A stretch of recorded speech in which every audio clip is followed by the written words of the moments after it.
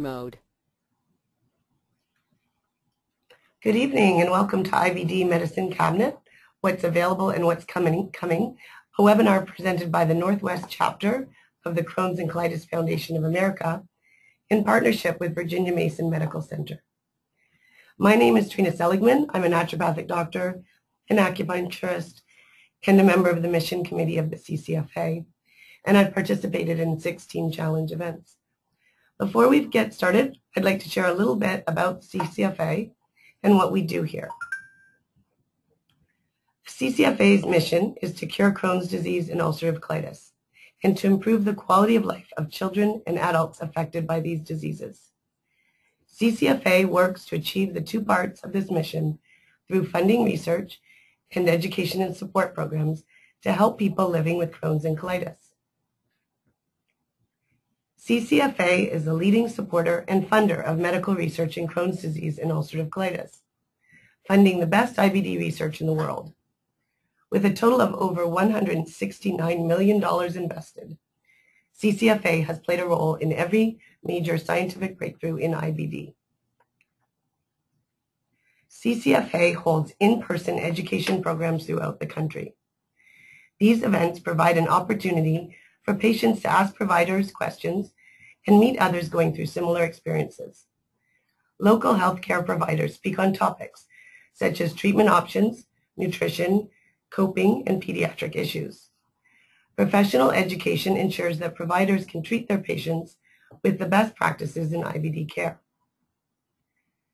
CCFA holds live webcasts featuring expert providers and researchers in the field of IBD, then posts replays at ccfa.org slash resources slash webcasts. Don't miss the upcoming series, Know Your IBD, with Understanding Crohn's Disease on October 16th, Understanding Ulcerative Colitis on October 23rd, and What to Know About Biologic Therapy in IBD on October 30th. CCFA holds volunteer-driven support groups held monthly in communities around the country for people with IBD and their families. For group locations and meeting times, as well as guidelines for starting a new group, please see ccfa.org. Our Power of Two program matches those seeking support with volunteers who have gone through similar experiences with IBD, either as a patient or a caregiver. The two speak on the phone or by email. Applications to participate can be found on CCFA's Find a Support Group webpage. webpage. Our free online community provides a venue where you can participate in discussion boards, read personal stories, ask a question to our panel of experts, and much more at ccfacommunity.org.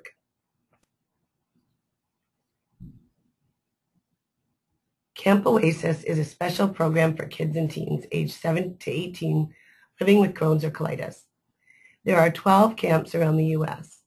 The Northwest location is in the Olympic Peninsula in Washington. Camp Oasis is a safe place where they can feel normal with their peers and have the chance to try things they've never done.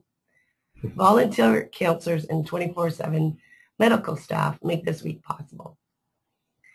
These education and support programs and the critical research being conducted are funded in part by our fundraising programs. Take Steps is a community event bringing together patients, family, and friends, and healthcare providers with a shared goal to find a cure for Crohn's disease and ulcerative colitis. Participants raise funds and awareness in the months leading up to the event to help make an impact in the fight against inflammatory bowel diseases. On the day of the walk, participants will gather together for festivities and a two to three mile walk.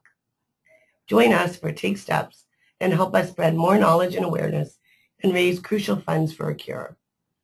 Find the walk in your community at cctakesteps.org.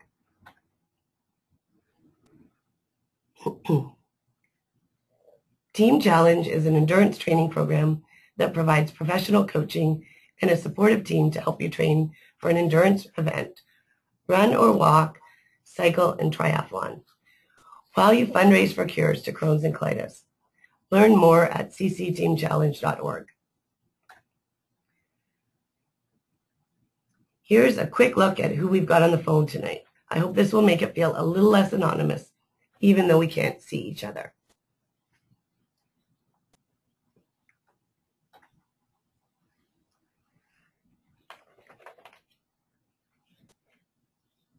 If you have a question during the program, please type it into the question box on your control panel on the right side of your screen.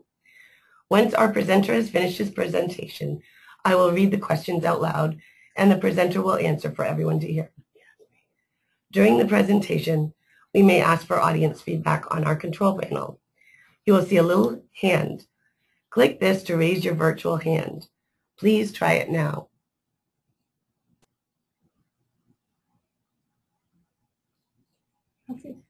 Yeah.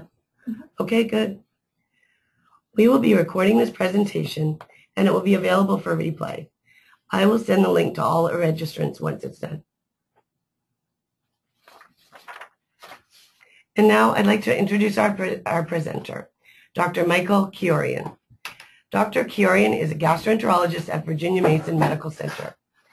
He is director of the Inflammatory Bowel Disease Center of Excellence at Virginia Mason Digestive Disease Institute. He serves on the CCFA Northwest Chapter Medical Advisory Committee, and he also volunteers on a national level with the CCFA National Patient Education Committee. Thank you for your time tonight, Dr. Kiori. Muted.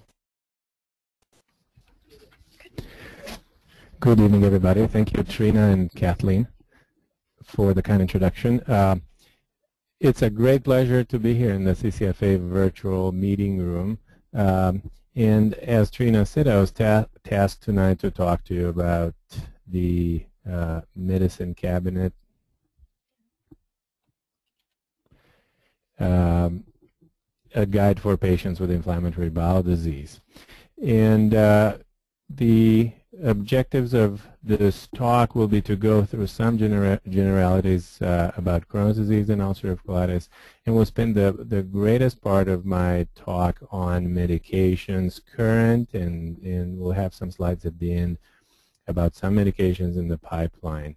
Uh, you will find, as you'll see uh, towards the end, a lot more information on the references that we quoted at the end of this presentation, all of which is available on the CCFA website. So let's move on with uh, to the first section, Life with IBD. As you, most of you know, you're not alone. There are 1.5 million Americans with inflammatory bowel disease, about halfly split between ulcerative colitis and Crohn's disease. The, these are both lifelong conditions which require chronic therapy. Spontaneous remission, even if it's possible, it's extremely uncommon. Uh, and patients, importantly, patients in medical remission have normal lifestyles. So this is sometimes a misunderstanding that I frequently see among patients that I uh, see in the office.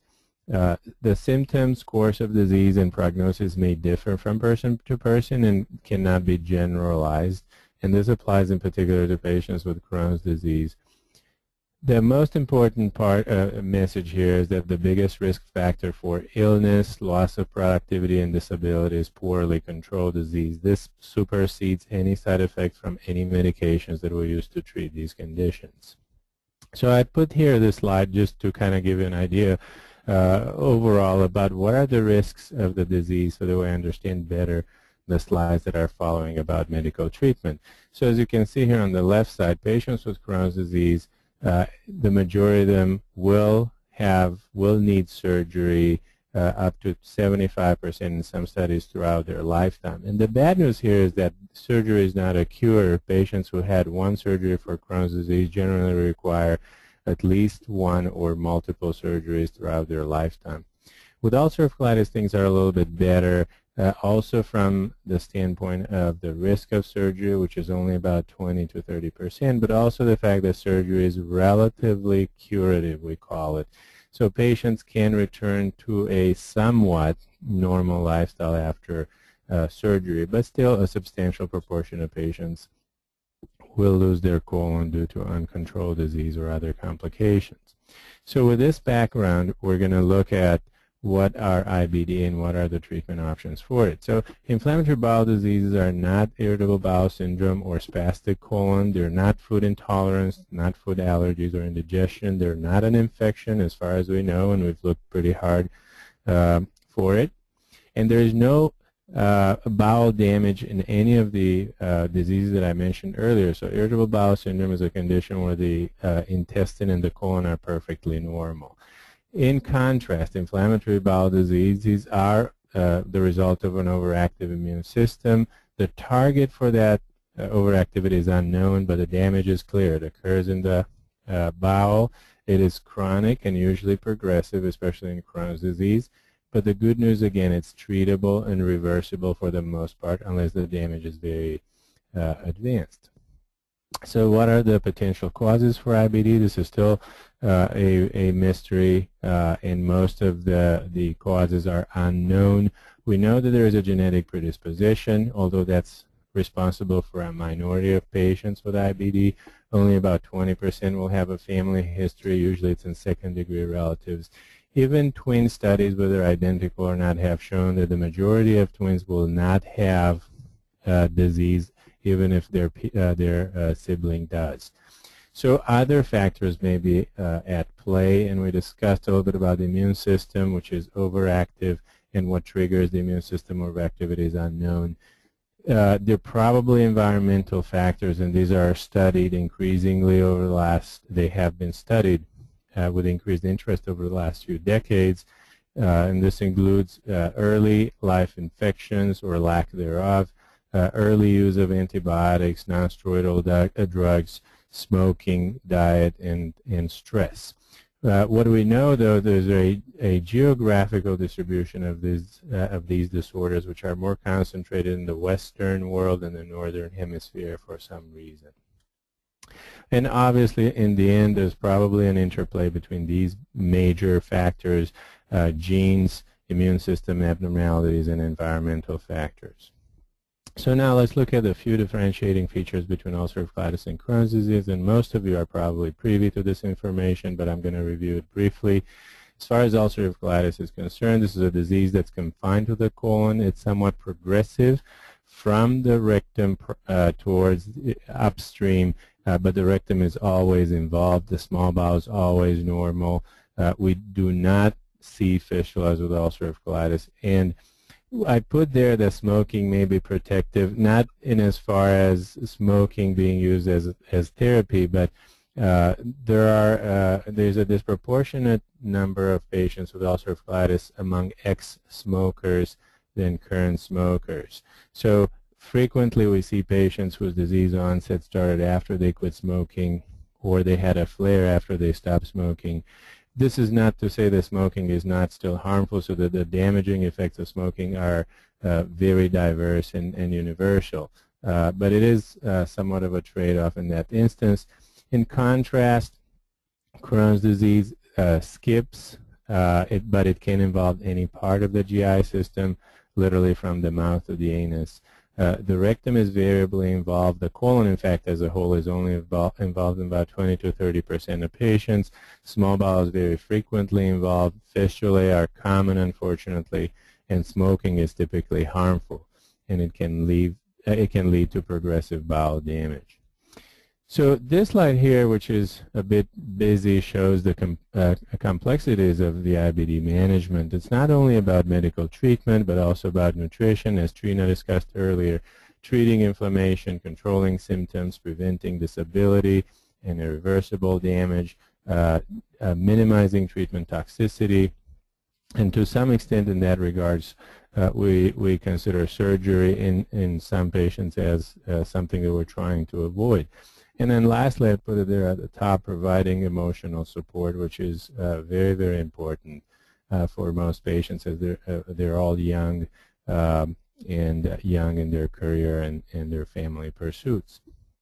So uh, in this slide, you see the therapeutic one uh, one of the um, uh, therapeutic strategies in inflammatory bowel disease. This uh, slide specifically addresses ulcerative colitis, and the so-called step-up pyramid uh, for ulcerative colitis still applies today, probably in a, a, the majority of patients.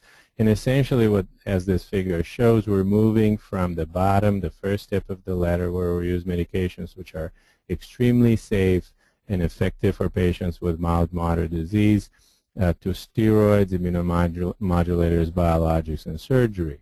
And the reason for moving up the ladder is failure of the previous drug. So this is a, a classic step up uh, pyramid. And of course, in patients who have, as you see here on the right side, in patients who have uh, more moderate disease or they fail to respond to these medications all the way to the top, we have uh, off-label therapy or clinical trials, and these address particular patients with moderate to severely active disease because in general we consider that patients with mildly active disease, active disease are fairly well served uh, currently. In contrast, the situation with Crohn's disease is a little bit different, and this is because you see this curve here uh, on the slide, which is basically the probability of having surgery in, in uh, Crohn's disease patients over time. And as this graph very nicely demonstrates, this is actually older data, but when we looked at the same phenomenon in the last uh, uh, 10 or 20 years, the curve has flattened out a, a little bit, but it's still uh, escalating. So uh, after about 20 to 30 years of disease, the majority of patients with Crohn's disease will have had at least one surgery. So there's clearly a sense of urgency when we treat patients with Crohn's disease, and particularly uh, uh, uh, related to their disease severity. And thus, the uh, treatment for Crohn's disease is no longer a therapeutic pyramid where we're, we're waiting for a drug to fail in order to move on, but we stratified patients actually based on their disease severity and mild, moderate, uh, and aggressive disease, and we treat each group appropriately with their, with their corresponding drugs.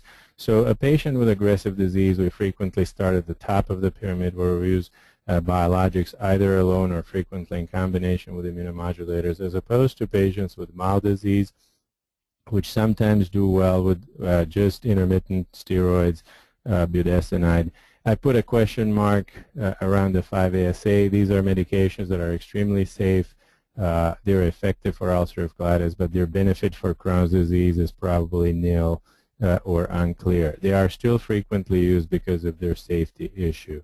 So uh, I will leave that there. Immunomodulators, of course, are uh, the uh, maintenance drugs uh, that are fairly effective for patients with moderate disease. And those who fail, then we move on to biologic therapy. So what are the risk factors? What are the predictors of aggressive disease? And you have them in the right box, right upper quadrant. Uh, being young at diagnosis, uh, having fistulas. Smokers tend to have significantly worse disease, particularly among women. Having extensive disease, and this is uh, specifically because it puts a lot of real estate at risk. So there's a large extent of bowel that's at risk of surgery in case of a complication in patients who have extensive disease. And the same thing applies to severe lesions that we see either at endoscopy slash colonoscopy or with, with x-rays or with radio radiological studies. Patients who are at low risk have none of the above risk factors, and patients with intermediate risk are somewhere in uh, between. So again, uh, similar to patients with ulcerative colitis, we have a number of clinical trials for patients with uh, uh moderate to severe Crohn's disease. And sometimes we still have to resort to off-label therapy for patients who have more challenging uh, situations. So this diagram uh, in the next slide shows basically how uh, early consistent treatment is associated with an increased chance of staying well. And the, this diagram basically moves from the state of good health where the or remission where basically the key is on disease prevention or maintenance of remission to subclinical inflammation, this is where the disease is certainly uh, very treatable to patients who have symptomatic inflammation and then complications. As, and as we move to the right of this diagram, uh, the disease is increasingly di more difficult to treat and the results are increasingly less satisfactory and the result of this is obviously where we don't want to uh, arrive or reach, uh, which is disability.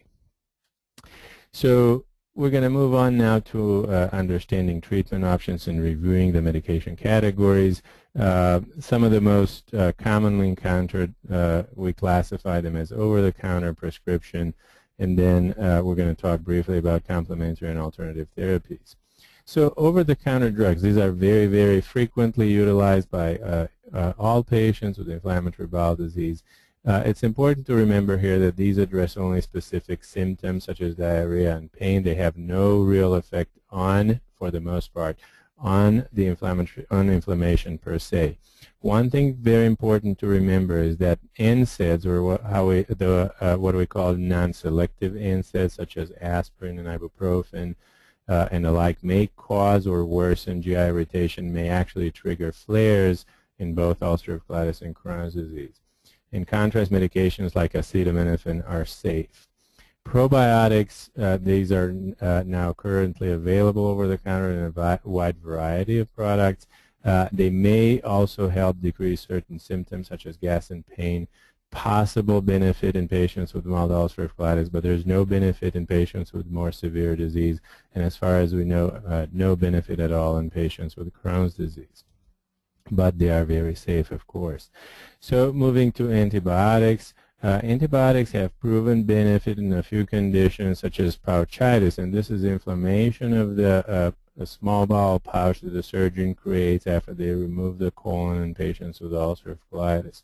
They also seem to be beneficial short-term for patients with fistulas and certainly are one of the important lines of therapy for patients who have Crohn's-related abscesses.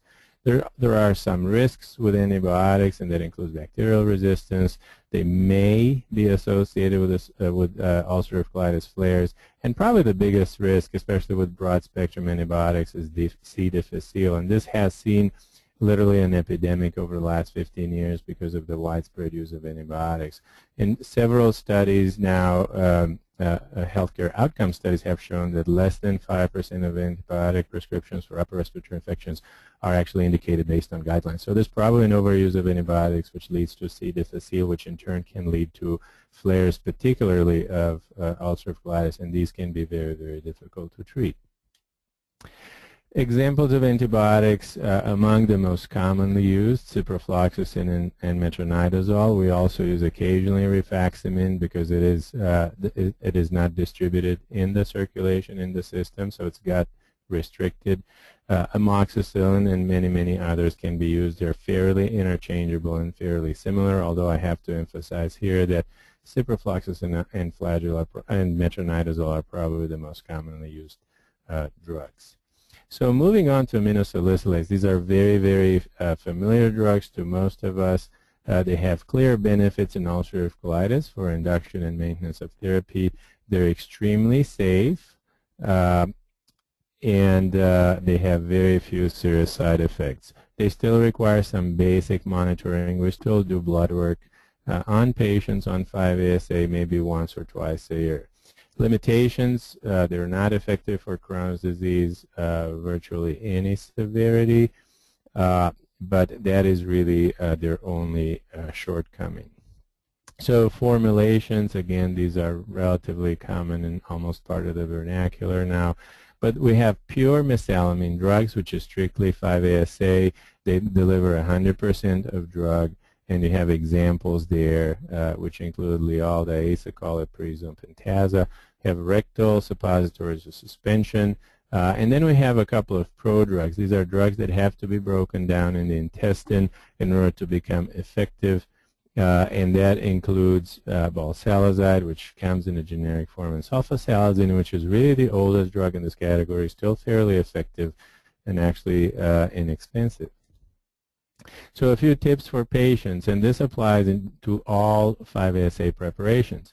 All of them can be taken once or twice daily. I think I still see a fair number of patients referred to our center who are on three uh, times per day therapy. The only thing that this, this leads to is more missed doses, lower overall dose, and lower efficacy, what, or what we otherwise call in the medical, uh, medical lingo uh, non-compliance. So most of them are now formulated so that uh, they can be very easily taken with the same effectiveness once or twice a day. Uh, the other important tip is that their, uh, uh, their efficacy is equivalent per same dose. So you have to look at the amount of milligrams of the product that you're taking uh, in order to get the same efficacy, particularly if you're switching drugs.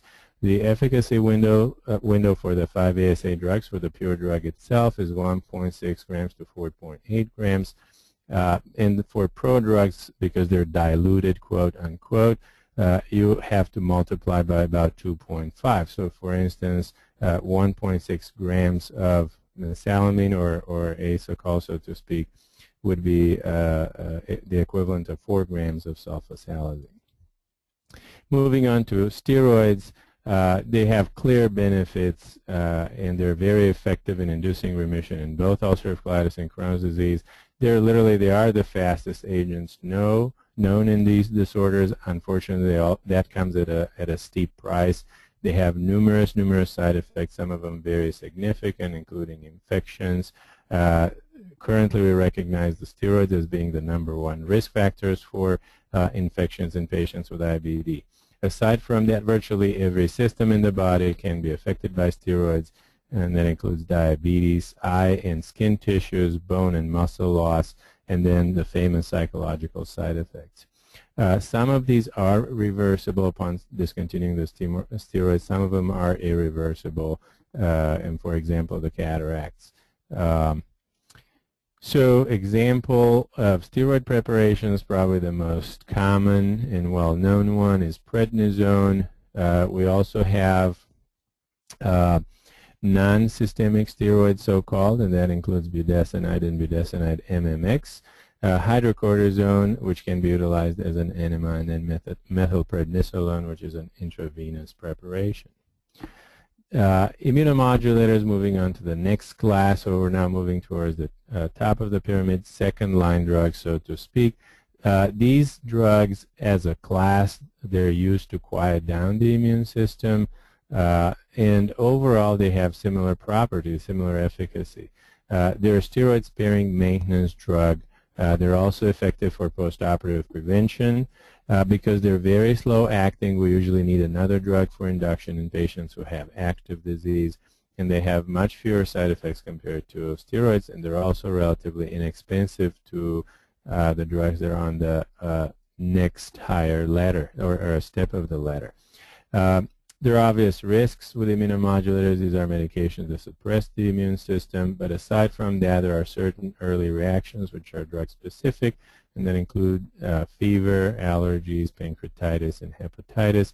Other more uh, sort of traditional adverse events, bone marrow suppression that's usually manifested as low white uh, blood cells, that's fairly uncommon or very uncommon. Uh, elevated liver tests, infections, particularly viral infections, lymphoma, and skin cancer. As far as pregnancy, there are two drugs that are X, so uh, categorically not and those are methotrexate and thalidomide. So examples, probably the most commonly used in this country is azathioprine and its equivalent or similar drug 6-mercaptopurine or 6-MP, both available in generic form. Also frequently utilized methotrexate, uh, and then we have a number of off-label, so to speak, drugs. In essence, all of these drugs are off-label since they're not approved by the FDA, but traditionally uh, used are azathioprine and methotrexate. Uncommonly used nowadays, tacrolimus, cyclosporin, mycophenolate, and thalidomide. Moving on to the top of the letter, and here we have the biologic drugs. And these are designer-targeted drugs made to specifically block inflammation, uh, similar to smart weapons, so uh, targeted therapies. Most or all of them are immunoglobulins or fragments thereof. They have a narrower spectrum of activity compared to the immunomodulators that I discussed earlier. They're relatively fast-acting, sometimes uh, approaching the steroids, but they also uh, have risks, and that includes immune suppression, infusion or injection reactions, uh, lymphoma, uh, skin cancer. Of course, loss of responses of a concern uh, is a concern uh, even more than with immunomodulators because these drugs are protein that can actually trigger an immune response of their own. So patients can develop antibodies and therefore uh, lose response to medications. And I know there is a question from the audience in this regard that I'll be happy to review in a little bit. And then there is obviously the cost uh, issue. So we have two classes of drugs currently. uh, for treatment of IBD, uh, anti-TNF drugs, which include adalimumab, certolizumab, infliximab, and golimumab. Uh, aside from uh, the the fact that they all work through the same mechanism, which is blocking this chemical, this molecule called TNF-alpha, which uh, promotes inflammation. The other common denominator is that they're all very difficult to pronounce in generic form, as you can see. But you will recognize them because they all, all have this termination uh, in MAB, which means that they're monoclonal antibodies. The new WER class uh, is uh, uh, represented by trafficking inhibitors. Uh, we have an old member there, natalizumab, which has not been widely used in this country, although it is approved for Crohn's disease for reasons that I'll review in a little bit, and a, a recently, very recently approved drug in this class called vedolizumab, which uh, is gaining some traction right now. So this is sort of a diagram showing how these drugs uh, are made and what are the differences among them. On the left side in gray you have the anti-TNF-alpha drugs. Uh, and the major difference between them uh, is in their degree of humanness, so to speak. So infliximab, which was the first drug approved for uh, uh both Crohn's disease and ulcerative colitis, is partly human, partly uh, mouse. About 25% of the molecule is derived from a mouse, as opposed to the newer drugs such as adalimumab and golimumab, which are uh, almost 100% human. So they are basically designed based on a human immunoglobulin platform. Certolizumab, uh, instead is only the the uh, business end of a, an immunoglobulin, so the sticky fragments which are in dark gray uh, on the right side of the uh, dark green on the right side of the diagram, uh, and th uh, this business end is tied to uh, what we call polyethylene glycol molecule, or just an in inert carrier. Finally, the trafficking inhibitor, they're, they're both hybrid molecules, so they have a sm very small component of, of uh, um, animal immunoglobulin, and about 95% of them are human, and that includes natalizumab and vedolizumab. So how do they work? This is basically the mechanism, a diagram showing the mechanism of action uh, of these drugs. Uh, on the left side, you have these immune cells, which are part of the white cells, traveling through blood vessels towards the intestinal wall where they cause inflammation. And as you can see here, TNF-alpha is a primary driver for uh, the activated T cells. In the lumen of the bowel, we have a number of, of microbes or microorganisms as well as uh, food uh, constituents or food particles. So what happens in patients with ulcerative colitis and Crohn's disease, there is an excess number of these activated T cells in the intestine which causes the inflammation and the bowel damage. So how do uh, anti-TNF-alpha drug works? They not only block, but they actually neutralize. So they literally they knock out, terminate uh, a, a, number of these uh, uh, activated T cells, and by that reduction, they decrease the inflammation, and basically that leads to uh, remission and maintenance of remission. In contrast, trafficking inhibitors, also called anti-integrins, they do not have a direct effect on the cells that are already migrated, that are already causing a riot in the bowel wall, but they prevent other uh, newcomers from uh, crossing the blood vessels into the bowel tissue. So they're literally traffic inhibitors, just like policemen preventing the exit from a highway. And because these cells, all the, these activated cells have a limited lifespan, eventually they will literally die out, and the result of that is a, uh, an improvement in inflammation. Now, just simply thinking about the mechanism of action, it's very clear that anti-TNF-alpha drugs will work a lot faster as opposed to these trafficking inhibitors, which take a little longer to uh, see the results because they basically, uh, uh, the inflammatory cells have to disappear on their own from the inflamed areas. So this is a more direct comparison between anti-TNF drugs and trafficking inhibitors. So anti-TNF drugs are quicker. Uh, they work for both UC and Crohn's. Uh, they're uh, administered as an infusion or shot, so they're available in both forms. They're systemically immunosuppressive, uh, and therefore they carry a, a higher risk of uh, side effects. And we know they have a well-established long-term efficacy. In contrast, traffic inhibitors have slower onset of action. They're also effective for both UC and Crohn's. Currently, they're only available as an infusion.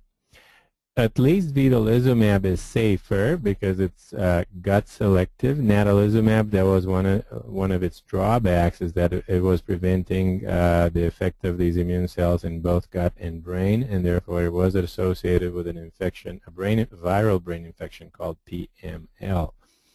Also, being relatively new, the long-term efficacy of these drugs is unknown, or although we're beginning to accumulate information in this uh, regard. So what are the risks of these drugs? And this is one of the most important questions that we have to field in the office, both at the beginning as well as during treatment for patients with IBD. Uh, and this, these are all examples taking, uh, taken in consideration 10,000 patients treated for one year.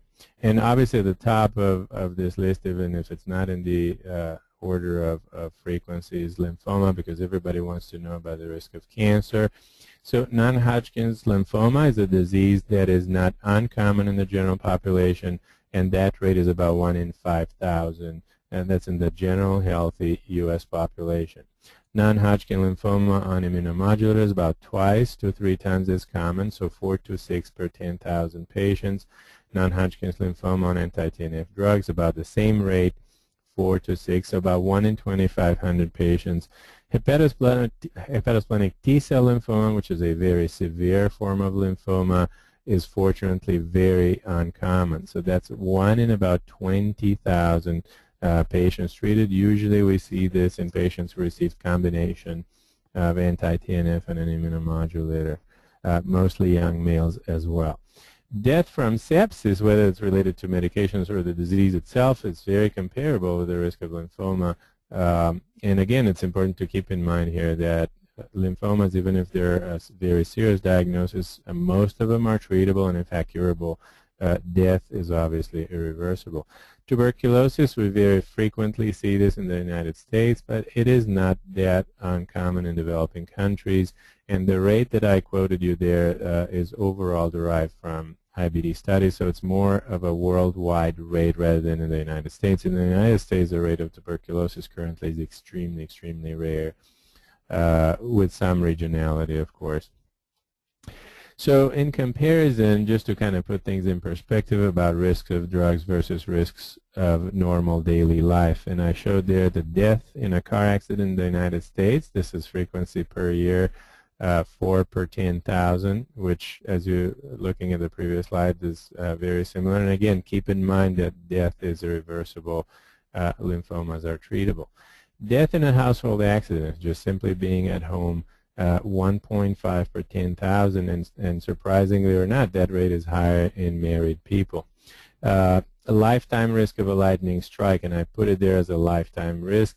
Uh, because as opposed to lymphoma, which tends to happen only once, uh, you can get a lightning strike every year. Uh, and that's also about 1.5 per 10,000, even if mortality is not uh, tantamount to a strike. Risk of a mother dying from birth of a single child in this country is still at 1 in about 10,000. So just to put things in perspective uh, uh, with things that are a little bit closer to home. And these diagrams basically show, again, uh, the balance between risks and benefits with therapy. The specifically addresses the biologics. Uh, the chart shows 1,000 people who received treatment with a biologic, let's say for inflammatory bowel disease.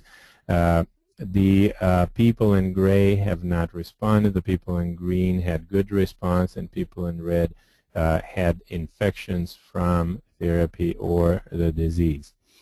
Uh, on the next slide, I basically am showing people who developed infections related to therapy, uh, divided into those who uh, developed infections related to the disease, for instance, an abscess in Crohn's disease versus uh, infections restricted to the medication use. So obviously that's only about half of the overall risk of infections. And then if we exclude preventable infections such as flu and pneumonia, the number of uh, serious infections related to drugs is even smaller uh, in comparison, the benefit obviously stays the same. Now, the risk of lymphoma is even uh, harder to represent on a chart like this because obviously it is less than 1 in a thousand, but I tried to show it there. It's uh, probably the uh, just the head shoulders of one of these little uh, uh, people on the chart. So again, putting things in perspective, the benefits uh, certainly outweigh the risks with uh, virtually any form of therapy for IBD. So one of the questions uh, I think that was asked from the audience early on is how long can I stay? Do I need to stay? How long should I stay on biologic drugs? Uh, and this is, uh, they're very, I, I, keep telling my patients there are similarity between IBD therapy and marriage. And what this slide says is that I don't need a perfect relationship. I just uh, relationship. I just need someone who won't give up on me. And that's the exam, exact same principle that we use, uh, particularly in relation to biologics. So uh, we like to use this drug. We like to keep the drug that won't give up on the patient, and that is the key to uh, long-term success. So moving on to drugs in the pipeline, everything that I discussed about so far is it's already available uh, for use by prescription, of course. Drugs in the pipeline, uh, biologic drugs, I think one of the most major developments in the upcoming years are biosimilars. These are essentially equivalent to generic biological agents, and of course, based on patent expirations, uh, anti-TNF drugs will be first in this direction. They're currently available on small scale in Asia, uh, in some countries in Eastern Europe, but they're awaiting approval for uh, the rest of the European countries, and they may see the U.S. shores in the next couple of years or so. Uh, we also have, in, in terms of biologic drugs, we have new targets for monoclonal antibodies, so they're no longer anti-TNF or TNF-alpha restricted. Uh, we have a drug that's currently approved. Uh, it's called ustekinumab or Stelara. It is currently approved for treatment of psoriasis and rheumatoid arthritis, and it's uh, currently undergoing trials in patients with Crohn's disease. It seems to be efficacious, and this is very important. It seems to be efficacious in patients who have failed anti-TNF therapy, but again, currently not a, not approved for uh, the treatment of Crohn's. We also have uh, new traffic inhibitors, which are in clinical trial. Uh, and we literally saw an explosion of uh, uh drugs in the pipeline in this uh, direction or in this category of drugs. And again, the main reason for this is that because they overall seem to be safer as immunosuppressants. They're relatively gut restricted, so they have much, much fewer systemic side effects. Uh, among the ones that are in advanced clinical trials now uh, are etrolizumab, AMG 181, AJM 300. As you can see, these guys don't even have a name yet, uh, but we're likely to see them um, available for clinical use in the next two to three years or so. Uh, and as I said earlier, which is a pattern with uh, vedolizumab, they are likely to be effective for both UC uh, and Crohn's disease. The other uh, very exciting development is now in the area of small molecules. So as opposed to all biologic drugs, which are large molecules, they're immunoglobulins, uh, and they're targeted, these are uh, basically drugs that can be produced in a regular pharma pharmaceutical plant. Uh, they're all oral drugs, in a way comparable with azathioprine, but with a much narrower spectrum and much higher efficacy. In fact, their efficacy is similar to anti-TNF drugs. So they have obvious advantages being uh, oral tablets. Um, there's no loss of response, so once you respond, there's no resistance because there's no antibody formation. Obviously, they have their own uh, set of side effects. We have one representative in this category. It's called tofacitinib uh, or Xeljanz, which is approved for treatment of uh, rheumatoid arthritis and psoriasis. And this belongs to a class that I'm sure you'll hear more about in the future called JAK inhibitors. So a number of others are in clinical trials, and we're currently conducting one at our institution. Other uh, agents uh, are super probiotics, so to speak. So the one representative in this class that's still remaining are the pig whipworm uh, eggs. Uh, we have a trial currently at Virginia Mason for ulcerative colitis, but they have shown, unfortunately, no benefit for Crohn's disease. It is an extremely safe form of therapy, however, as we're trying to demonstrate in this trial, so hopefully it will work. But I just want to draw your attention and make you aware of scams. There's plenty of sites online that are willing to sell uh, to sell you this, and and I strongly caution you again against using these without medical advice, without talking to a physician and again, preferably within the confines of a clinical trial. Um, bone marrow transplant, this is really not a new idea. This started about two decades ago uh, when we were desperate uh, for other therapeutic options for patients with very severe uh, Crohn's disease. It showed promise for patients with, uh, with severe conditions, but at a substantial risk. Uh, death rate in most of these studies was around 1%. Uh, it did have some promising results, though, in patients who otherwise failed everything else. So there are some small-scale clinical trials underway, including one at the University of Washington. Uh, some treatments that failed to take off. Stem cell therapy has been around for about 10 years. Um, phase two clinical trials had mixed results. So uh, the, the phase three, which is the more advanced, uh, closer to approval clinical trials, uh, have not been initiated or they're going very slow. Uh, plasma filtration is popular in Asia. It has not caught on in the United States because all the trials we did here show that it was ineffective. And then finally, complementary and alternative medicine. Uh, obviously, uh, Trina is more of an expert in this than I am, but uh, there are some definitions here about what constitutes a CAM.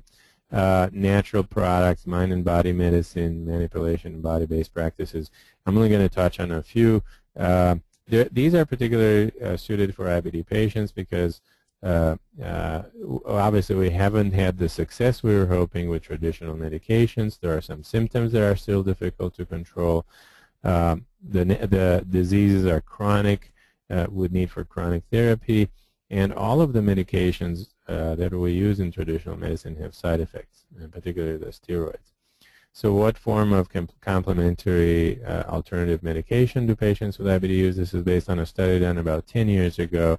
First of all, between almost half of patients with IBD use some form of complementary therapy, and you have the breakdown in the slide between herbal supplements, probiotics, uh, alternative practices, including yoga, relaxation, diets have really taken off in the last uh, 10 years or so, I must say that there is no evidence that they are uh, directly beneficial. Uh, so choose the diet that is uh, certainly safe and, and well balanced. Probiotics, and we kind of touched upon on this uh, earlier, uh, these are good bacteria that we're hoping that they can restore the balance in the the balance of bacteria in the GI tract. They may ha have some benefit in patients with irritable bowel syndrome, so spastic colon, mostly in those with bloating and gasiness as well as in patients with antibiotic-related diarrhea. May also have some efficacy in patients with mild ulcerative colitis, but there, there is no benefit in Crohn's disease. And in the patients with UC, the effect is restricted to certain preparations which have a higher concentration of bugs. So among the products, there are literally hundreds of them. I listed the ones that are uh, more reputable and, and, they have at least some science behind them. VSL number three, certainly the most studied probiotic or in the category of probiotics. Uh, there are a number of others, including lactobacillus, uh, also known as FloraQ, Culturelle, and the line. So since these are non-standardized, they may not contain the amount of bacteria that's advertised. So again, I caution you about the use of anything that's out there with the exception of perhaps a handful of brands that you can see, and also uh, without discussing with your uh, uh, healthcare, uh, uh, with your with your uh, physician.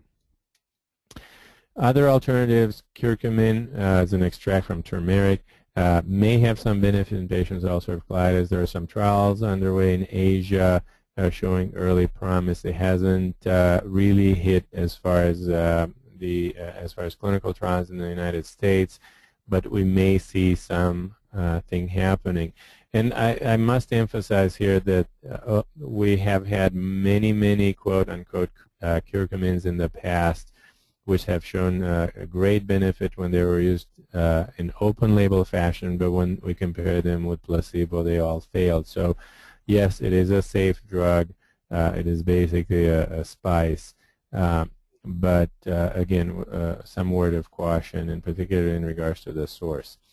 Fish oil supplements containing omega-3 fatty acids very, very frequently used not only by IBD patients but by general public.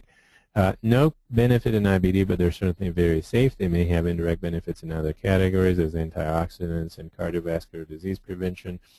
Vitamin D I'm actually very excited about because there is indirect evidence showing that it's an immunomodulator. Uh, there's a seasonal variation, particularly in the northern, the northern hemisphere. And there's actually some data showing that it may prevent flares of both inflammatory bowel disease, multi multiple sclerosis, as well as other immune-mediated conditions. So we are actually uh, checking vitamin D levels in all our patients regularly, and we're aggressively, so to speak, supplementing it uh, as necessary. It is one of the most cost-effective interventions if it's effective because vitamin D is relatively cheap and extremely safe. Recognizing that there is a ceiling for everything, so uh, the rule of more is better does not apply here. A dose of about 2,000 units daily is uh, about as good as it gets. Excuse me. So how about marijuana? This is something that um, you know is familiar in both states that hosted this or were parts of the Super Bowl last year, uh, and it's likely going to spread through the rest of the country. There's no evidence of benefit specifically for IBD. There has been some retrospective studies showing some benefit for treating symptoms which are common in IBD patients, such as nausea, loss of appetite, and malaise. Be cautious or generally caution people about side effects. So at least in uh, the state of Washington and Seattle, we, we've seen a skyrocketing of this condition called cannabis hyperemesis syndrome, which is incessant vomiting related to marijuana, uh, has at least tripled uh, since it was legalized uh, about a year ago. So it has a relatively narrow spectrum of efficacy uh, bordering between benefit and side effects. So the most important part of uh, complementary medications or the most important rules, make sure it's safe. Uh, not necessarily with the drugs that I mentioned earlier, but there have been cases of liver failure, transplantation, and death following a variety of Chinese herb uh, product administrations. Uh, again, these are not regulated, they're not standardized. Mo also very important, please enter your complementary medications or complementary products if you use them uh, on your medication list when uh, you see your uh, practitioner. So key points or summary of uh, the presentation. Uh, medications are tailored based on disease severity uh, and in general we, we match the disease activity with the drug effectiveness. Uh, we no longer you no longer have to fail something before uh, you move on to the next level if patients have severe disease. For all medications used in IBD, the benefits are more substantial than side effects. Otherwise, we would not use them. There is no perfect drug, and none uh, we think will be available soon. All medications have side effects, but the disease itself has more side effects than any other uh, medication used.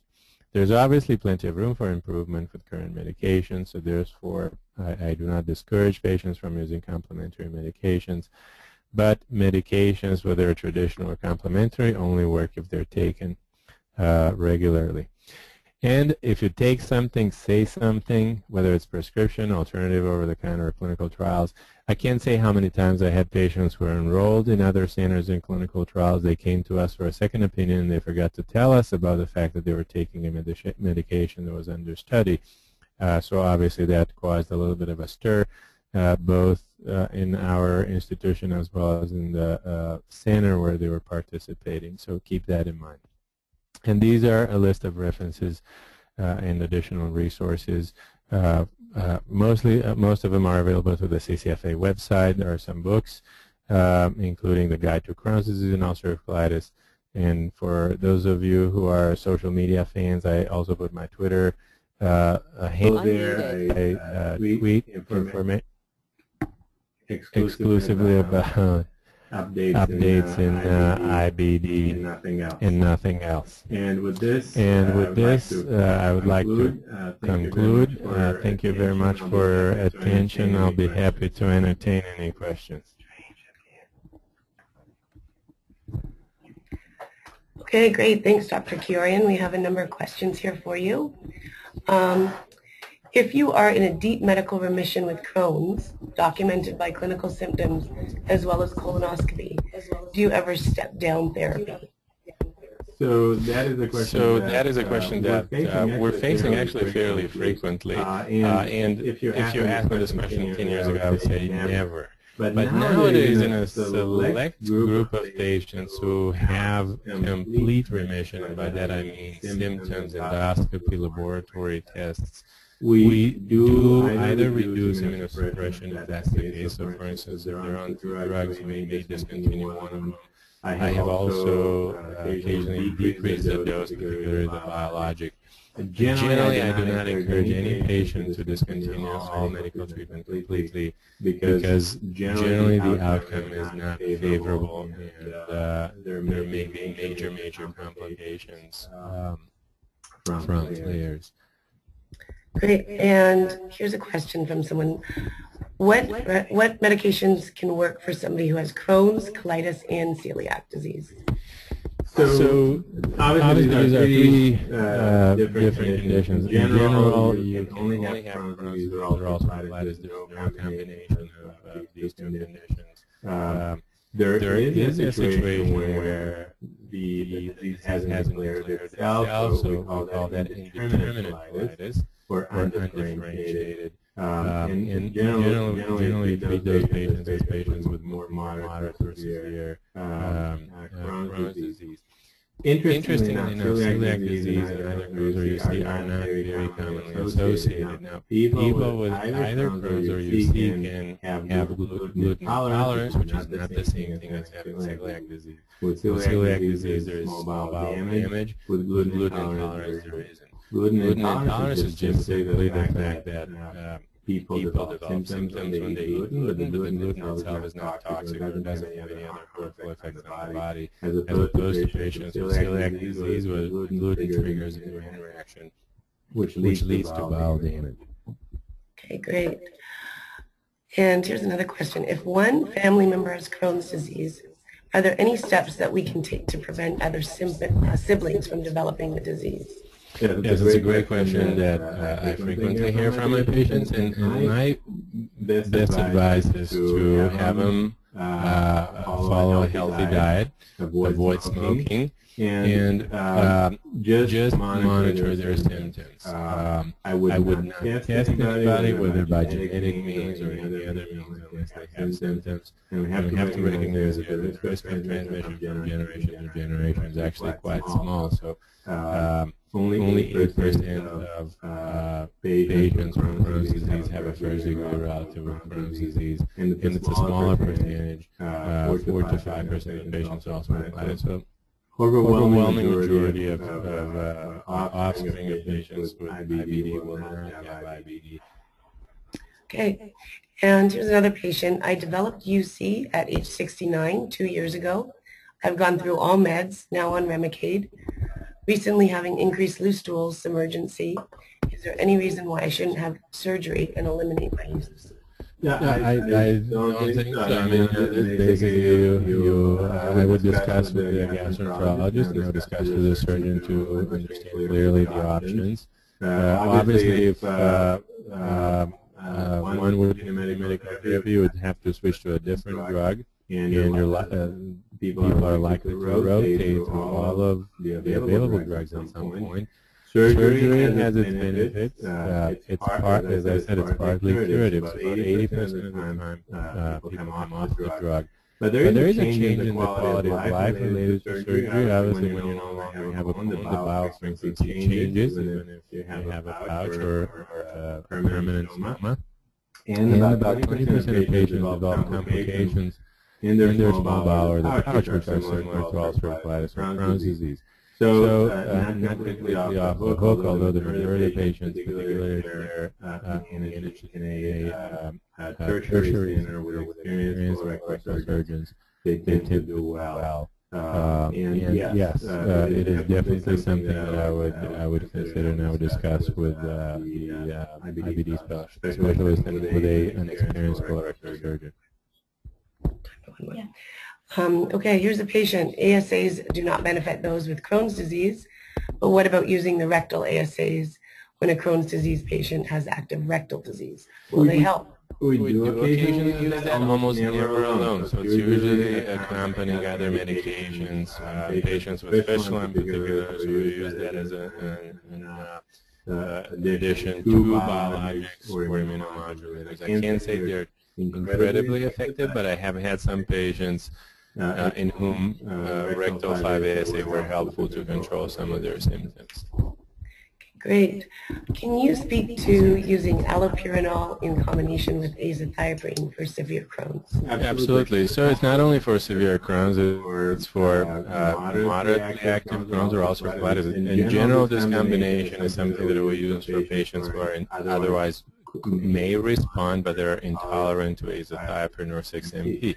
And this is based on the fact that azathioprine is sort of a prodrug, which has to undergo a transformation within the body, going through several steps before it reaches the end point or the, the final product, which is effective for Crohn's disease and UC. Now, along the way, all these byproducts have their own sort of evils, and one of them is particularly, uh, one of them can cause uh, liver damage or, or hepatitis.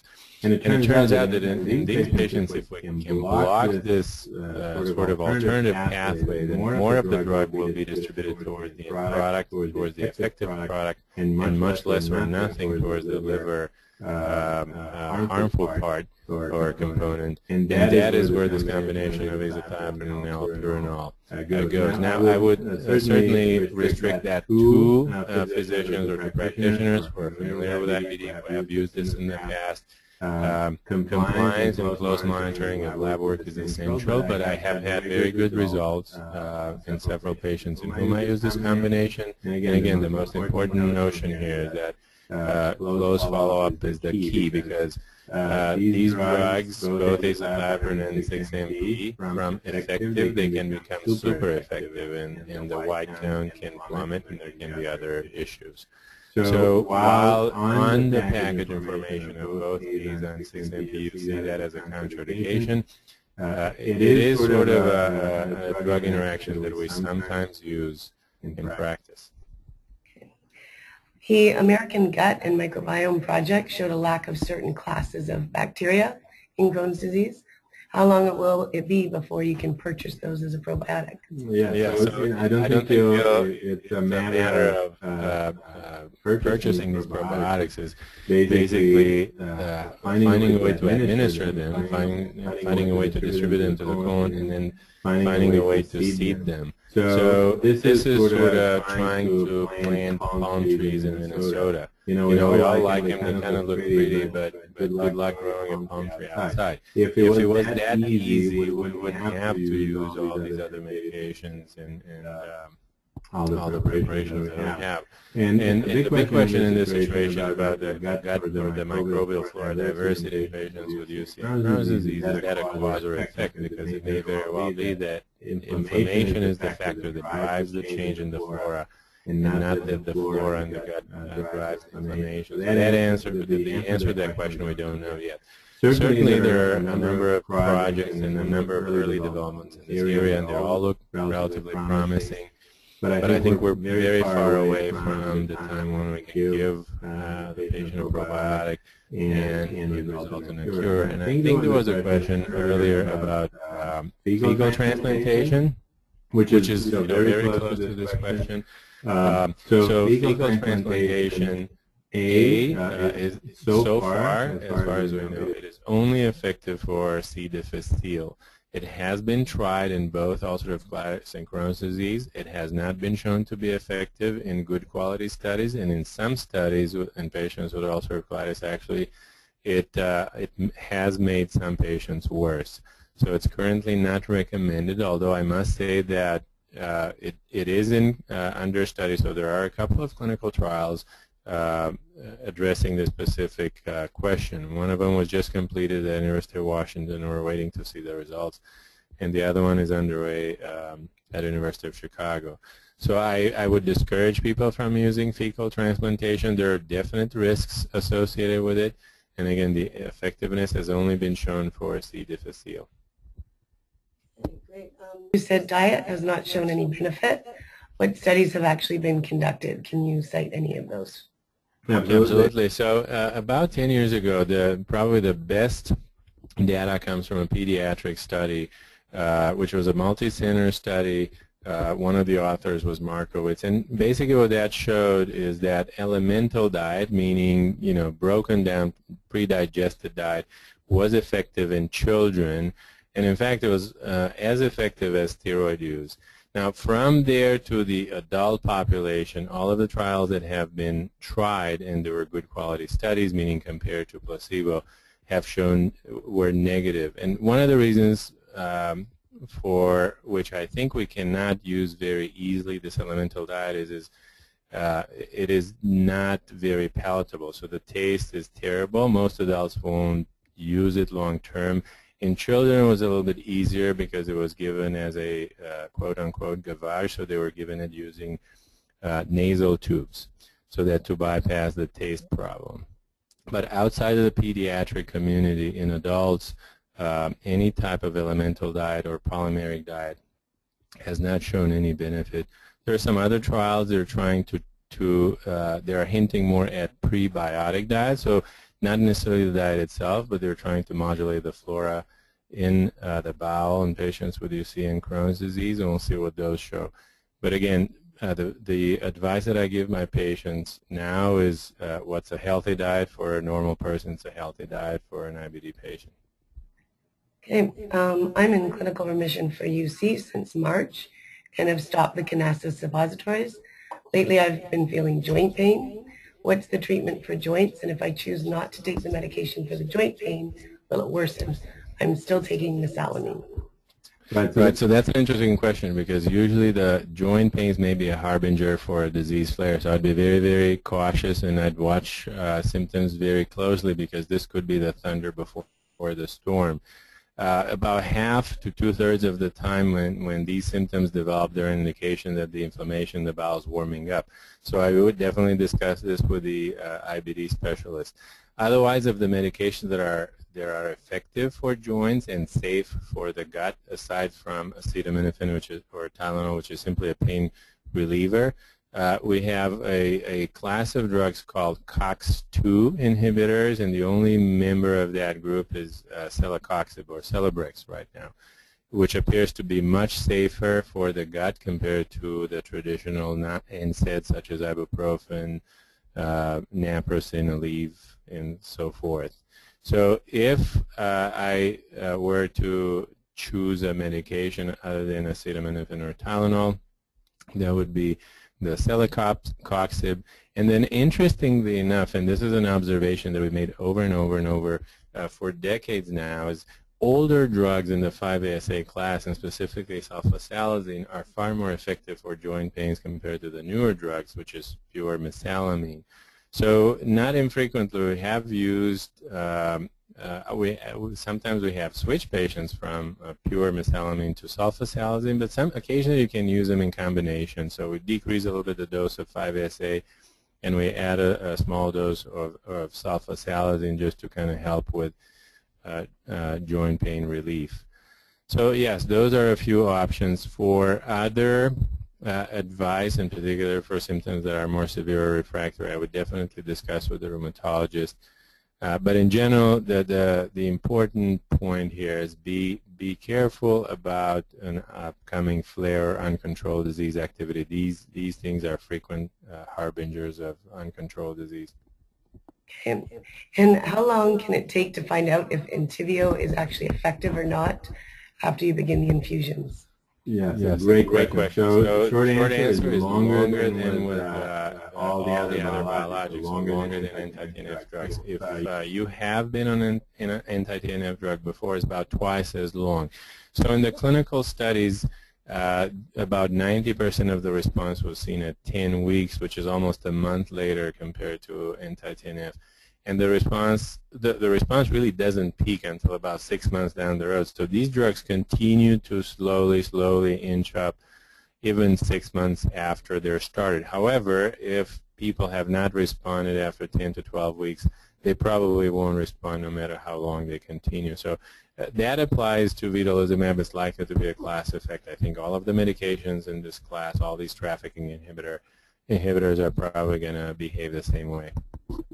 Do you think biologicals in particular, the Entyvio, has any benefit with uh, patients with PSC? Yeah, that's a great question. And this comes from somebody who knows a lot more than they're saying. So uh, it's interesting that the, the um, uh, receptors, or, or, basically these molecules that are blocking on the immune cells, uh, essentially what they do is they facilitate the interaction or the migration of these uh, uh, immune cells from, from the blood vessels to the tissue. And they're essentially a key in a hole. So the key is, for instance, on the lymphocyte and the hole is on the blood vessel. Well, this match, this uh, perfect match between the key and the hole, uh, uh, at least with uh, with this molecule that we're blocking with vedolizumab is only in the gut and some of the biliary system. So theoretically, theoretically, and I emphasize that, a drug like vedolizumab may be effective for patients with primary sclerosing cholangitis. Now, the humongous caveats here are when the, the clinical trials with, with vedolizumab were started, so this is the Gemini program, they specifically excluded patients with PSC, and the reason for that are myriad. Um, and uh, number two, we so we don't know uh, what the effectiveness of this is and how long would it take to work. Number two, it also depends on the stage of disease. So obviously there's uh, small duct, there's early PSC, and there's late PSC. Um, I think there are efforts underway to start a clinical trial with vedolizumab in PSC patients, but until we have that result, uh, I don't think there is a, a direct indication for vedolizumab in patients with PSC. However, if the patient also has active ulcerative colitis, that certainly may, I would make the case, at least theoretically, that this would be a drug to choose. Great. Okay, well, Dr. Chiorean, I'm going to bring you back to diet. We have a few patients that want you to discuss diet again. And um, one of them wants to know if you don't recommend GAPS or the SCD or autoimmune paleo, and they wanted you to discuss the study at Children's Hospital on the SCD diet. Yeah, so, yeah, so the, I can start with the latter because uh, the uh, Children's Hospital had um, basically three patients where they use SCD, uh, which is a, um, a, special carbohydrate diet um, and and they showed improvement in clinical symptoms. Now, but for all intents and purposes, when we study something for inflammatory bowel disease, we, we use at least one, if not several, objective uh, markers of disease activity, laboratory tests, endoscopy, radiology. Uh, the, the study that was published from the Children's Hospital had a very, very, very small number of of children, and again, their only disease response was as far as symptoms. So many other diets can lead to symptom improvement in everybody, not only in patients with IBD. But from there to say that a diet is effective for controlling IBD, I think there's a little bit of a distance. Uh, as far as the special carbohydrate diet, so yes, uh, it is um, uh, somewhat on vogue, and I must say that uh, probably uh, have seen a couple of dozen patients in the last year with SCD um, referred to me.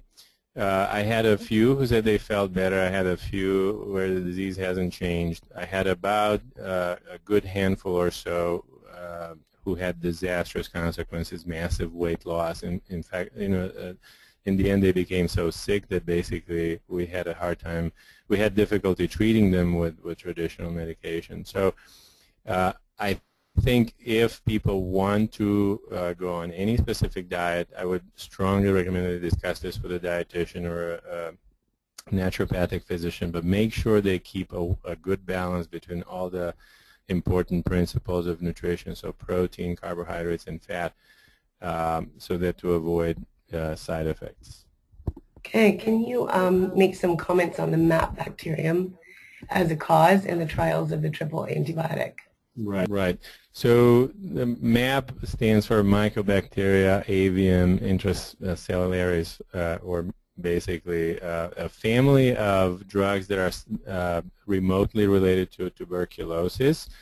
And the story goes almost uh, 50, 60 years ago where um, a, a, common disease in cattle called Johne's disease was related to one of these uh, bugs, to mycobacteria. And just because under cross-eye, just by physical exam, by looking at the intestine in, in these uh, uh, in these cows, the intestine looked similar to the intestine of patients with Crohn's disease. People started drawing parallels, and this is again 50, 60 years in the making. Uh, started to draw parallels between tuberculosis, mycobacterial infection in general, and Crohn's disease in particular. Now, since then, there have been a very, very large number of studies with very mixed results as far as the frequency of these microbes in the guts of patients with Crohn's disease. And, and the conclusion of the good quality ones was that these guys are just colonizing. So they find an area of the gut that's inflamed, they set shop there, but they don't cause any direct damage. And probably the most direct evidence uh, for this was a study that was done about seven, eight years ago from Australia, a two years long study where they treated patients with uh, tuberculosis antibiotics, essentially, which is also effective for MAC.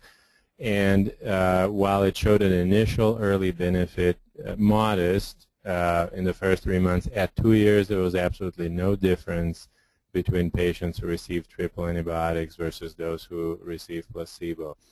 There is another study with a similar combination, different dose.